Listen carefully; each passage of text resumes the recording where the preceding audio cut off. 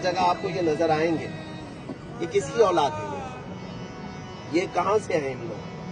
मेरे इल्म के मुताबिक, सुनो मैं आपको बताऊँ, सरकार गरीब नवाज़ रज़ी अल्लाह अन्हु ने अपनी हयात में खिदमत के लिए ख्वाजा फखरुद्दीन गुरदेजी को जो कबूल फरमाए ख्वाजा फखरुद्दीन गुरदेजी तआला गरीब नवाज़ के वो खादिम हैं, वो खादिम हैं कि बाद इंतकाल भी अगर अहाते गरीब नवाज़ में कोई और आराम कर रहा है तो सिर्फ़ फखरुद्दीन गुरदेजी मेरी बात सही है।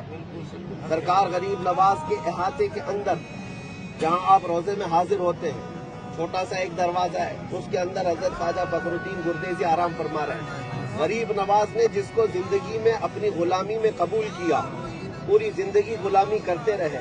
वफात के बाद ही अपने कदमों में सुलाया।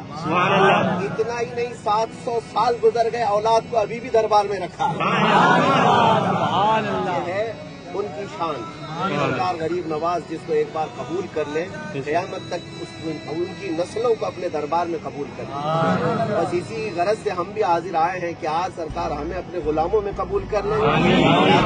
वाली हमारी नस्लें भी आपका सदका खाया अल्लाह तबारक ताला का बड़ा इनाम और इकराम है कि हमें उस जमात में पैदा किया जिन्होंने औलिया को अपना सरदार अल्लाह ताला ने हमें उन मुनाफिकों में